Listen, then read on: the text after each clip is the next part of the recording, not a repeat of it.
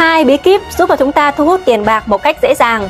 Để thu hút được tiền bạc, bạn cần phải tập trung vào cái sự thịnh vượng và giàu có. Bạn không thể nào thu hút được nhiều tiền nếu như bạn chỉ tập trung vào những cái sự thiếu thốn và những khoản nợ. Khi mà Hiền hiểu và giác ngộ được hai nguyên tắc này thì dòng tiền của Hiền luôn dư giả, công việc và khách hàng rất thuận lợi. Hiền tin chắc chắn rằng sau khi mà anh chị xem hết cái video này thì anh chị sẽ có một cái nhìn đúng đắn về cuộc sống của mình cũng như là anh chị sẽ dễ dàng biết cách chuyển đổi, thu hút được những cái khoản tiền hoặc là khách hàng đến với mình hoặc là phát triển công việc của mình dễ dàng hơn. Bí kíp đầu tiên, chúng ta cần chuyển đổi cái sự tập trung vào cái sự thịnh vượng và dư giả. Hãy liên tục nói, nhìn, nghe, tiếp xúc và bàn tán về thành công của mình cũng như là thành công của người khác. Hãy cho tâm trí của mình ngập tràn những thành công hãy cho tâm trí của mình ngập tràn những thành quả. Khi bên trong tâm trí của mình ngập tràn những thành công thì mình sẽ có những cảm xúc dư giả và đủ đầy. Chính cảm xúc đó sẽ thu hút đến bên mình nhiều cơ hội hơn, sẽ giúp cho chúng ta làm việc hiệu quả hơn và thu hút nhiều khách hàng hơn thông qua luật hấp dẫn.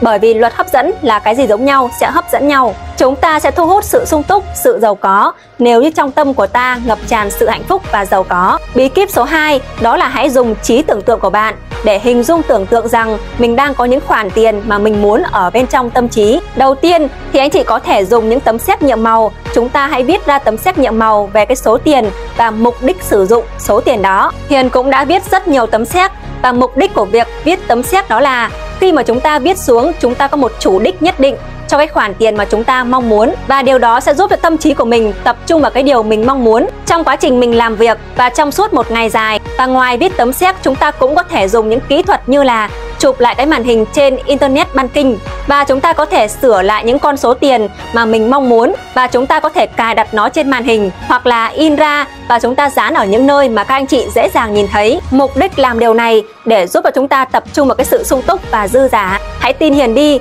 tâm của chúng ta đặt ở đâu thì tiền của chúng ta ở đó. Nếu như tâm trí của chúng ta đặt vào cái mục tiêu mà mình mong muốn thì chắc chắn cái hành động của anh chị cũng hướng tới những cái mục tiêu mình muốn. Thay vì là ngày hôm nay mình lười gọi cho khách hàng, thay vì là ngày hôm nay mình lười đọc sách, nhưng mà khi anh chị liên tục ám thị cho mình về cái điều mình muốn, về cái mục tiêu mà mình muốn hướng tới, thì những cái hành động của chúng ta sẽ hỗ trợ để giúp cho mình đạt được những cái điều mà chúng ta nung nấu bên trong tâm trí. Đó là quy luật vận hành của vũ trụ. Nếu như mà anh chị chưa hiểu, thì hãy follow Hiền, hoặc là xem những cái video trước, hoặc là nhắn tin cho Hiền, để Hiền có thể hướng dẫn cho anh chị cụ thể hơn về những phương pháp anh chị ứng dụng luật hấp dẫn trong quá trình mà anh chị phát triển nha.